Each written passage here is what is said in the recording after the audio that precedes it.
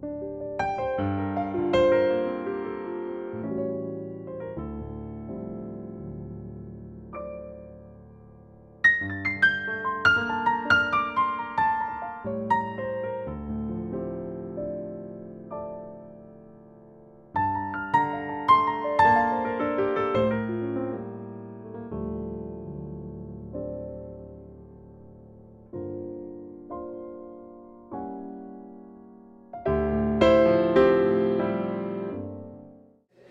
dottor Mario Roccuzzi, odontoiatra, ehm, libero professionista, mh, mm, si distingue in particolare in questo consesso si distingue per la sua abilità nel risolvere i problemi post-implantari, quindi si mette un impianto, ci sono problemi di riassorbimento osseo eccetera e quindi lui interviene. Eh, in che modo?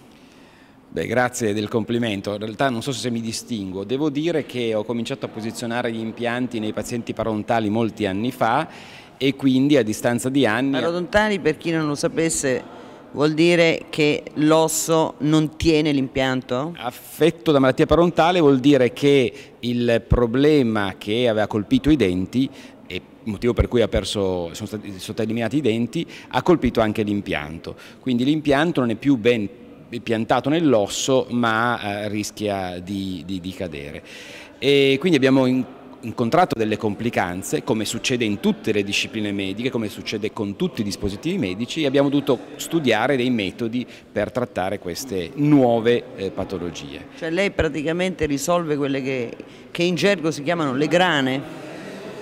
Ah, non so se sempre risolvo, comunque certamente gran parte della mia attività adesso si basa sul trattamento di complicanze. Questo è anche il titolo della sua relazione se non erro. Esatto, sì.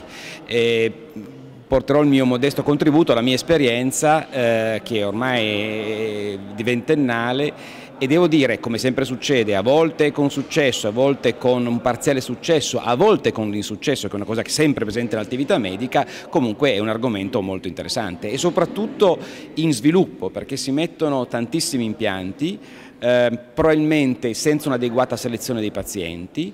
Eh, il problema è anche... Non sempre facile. Non sempre facile, ma eh, credo che il peccato originale sia che eh, l'impiantologia venga presentata, tra virgolette, venduta come una eh, cosa sicura, definitiva. Qualsiasi dispositivo medico ha una vita, ha delle possibili complicanze, una protesi al ginocchio, all'anca, uno stent e in questo momento il marketing sta facendo molto e sta facendo anche molti guai si mercifica la professione, si vendono gli impianti senza adeguata diagnosi, non parliamo, non diciamo chi lo fa. Comunque noi la ringraziamo soprattutto per dare lustro all'odontoiatria torinese, piemontese, nazionale e a questo punto anche internazionale visto che è un congresso internazionale. Grazie molte. Grazie.